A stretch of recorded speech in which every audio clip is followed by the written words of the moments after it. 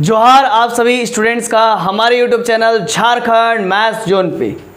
मैं सचिन चंद्र आप सभी स्टूडेंट्स का स्वागत करता हूँ हमारे YouTube channel Jharkhand maths zone पे। तो प्यारे बच्चों, आज का जो लेक्चर है लेक्चर नंबर एट है, जैसा कि आप देख रहे हैं क्लास टेंथ है, ठीक है? और मैथ्स का सेशन चल रहा है मैथमेटिक्स का सेशन चल रहा है। और जो चैप्टर है, वो चैप्टर है, वो एट है, यानी कि अध्याय आठ।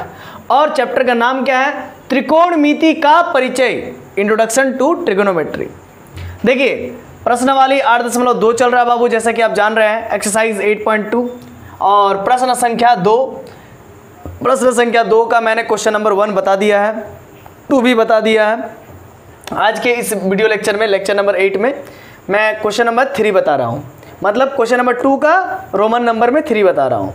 सही विकल्प चुनिए और अपने विकल्प का औचित्य दीजिए, कारण दीजिए। देखिए बाबू साइन टू ए बराबर टू साइन ए होगा, है ना? तब सत्य होता है जबकि ए बराबर है। तो एक अगर मान लीजिए ज़ीरो डिग्री के बराबर है, तब सत्य है चेक कीजिए। जब थर्टी डिग्री के बराबर है, तब सत्य है चेक कीजिए। जब 45 डिग्री के बराबर मतलब इस ए के जगह पर, देखिए तब सत्य होता है जबकि ए बराबर है। तो ए के जगह पर ज़ीरो डिग्री रखिए, तब सत्य है। चेक कीजिए। या फिर जब थर्टी डिग्री रहेगा ए का वैल्यू जब ए का वैल्यू थर्टी डिग्री रहेगा, तब सत्य होगा कि जब ए का वैल्यू फोर्टी फाइव डिग्री रहेगा, तब सत्य होगा कि ए का वैल्यू सिक्सटी डिग्री रहेगा, तब सत्य होगा कि। मतलब ये आप चारों में से किसमें आप चेक कीजिए? अगर बराबर आता है एल और आरएचएस दोनों तरफ़ का वैल्यू बराबर आ जाता है तो फिर कहेंगे ये ऑप्शन मेरा सही है। सपोज़ कीजिए ए का वैल्यू मैं ज़ीरो डिग्री लेता हूँ तो अगर देखते हैं दोनों तरफ़ बराबर आ रहा है कि नहीं, अगर मान लीजिए ए का वैल्यू ज़ीरो डिग्री लेते हैं तो साइन टू ए तो ए का वैल्यू ज़ीरो ले लेंगे तो sine two into zero degree तो क्या होगा? ज़ीरो ही होगा। और इधर देखिए तो टू इंटू यहाँ पर देखिए टू इंटू साइन यहाँ पर ए का value zero degree zero degree रखेंगे ए का वैल्यू तो साइन ज़ीरो का वैल्यू ज़ीरो ही होता है तो ज़ीरो हो गया। और साइन ज़ीरो का वैल्यू ज़ीरो तो ये इधर भी ज़ीरो उधर भी ज़ीरो यानी कि ऑप्शन ए के लिए ये सही है, ये सत्य है। मतलब साइन टू ए बराबर टू साइन ए होगा। कब होगा? जब, तब सत्य होगा। जब जब ए बराबर होगा। किसके बराबर? ए ज़ीरो डिग्री के बराबर होगा। मतलब ऑप्शन ए सही है कि ए मेरा ज़ीरो डिग्री के बराबर होगा, तब ये दोनों का दोनों बराबर हो जाएगा। अगर मान लीजिए थर्टी डिग्री रखिए अगर यहाँ पर थर्टी डिग्री रखते हैं तो साइन टू ए तो टू इंटू थर्टी कितना हो जाएगा? साइन सिक्सटी हो जाएगा। अगर ए का वैल्यू थर्टी रखते हैं तो साइन सिक्सटी हो जाएगा। और साइन सिक्सटी का मान कितना होता है बाबू? बताओ तो। रूट थ्री बाई टू होता है। ठीक है? और यहाँ पर टू है तो टू मल्टीप्लाई कीजिए।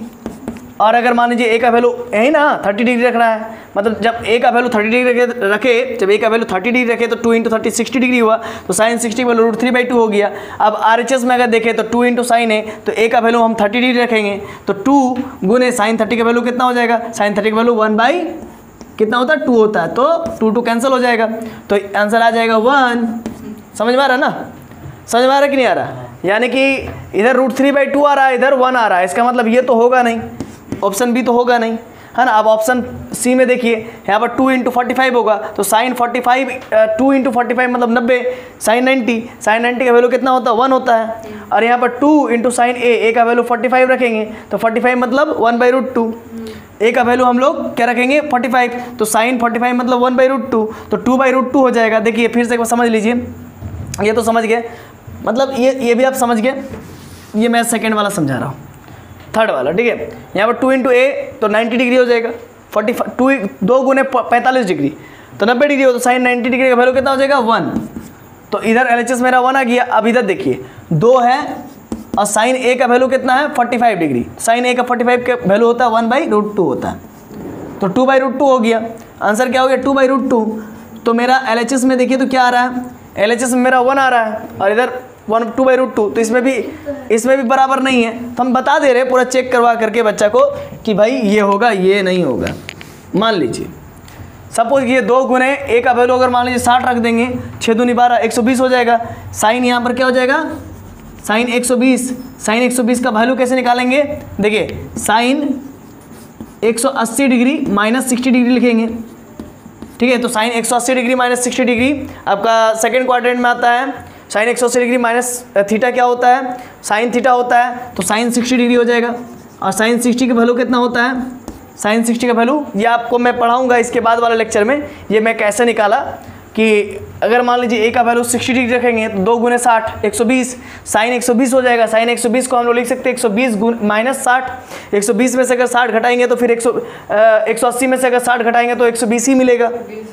और साइन एक सौ अस्सी डिग्री माइनस थीटा क्या होता है? साइन थीटा होता है। इसका मतलब साइन सिक्सटी डिग्री हो जाएगा। मैं फिर से समझा देता हूँ। ये मैं नेक्स्ट चैप्टर में समझाऊँगा, नेक्स्ट एक्सरसाइज में। साइन 180 डिग्री और माइनस का थीटा। देखिए, ये थीटा है 60 डिग्री थीटा है तो साइन 180 डिग्री माइनस थीटा बराबर क्या होता है बाबू? साइन थीटा होता है। क्या होता है? साइन थीटा होता है, ठीक है? इसीलिए साइन 60 हो जाएगा। थीटा बोले तो 60 है तो साइन 60 हो जाए। साइन 60 का value root three by two होता है तो रूट थ्री बाई टू लिख दिया।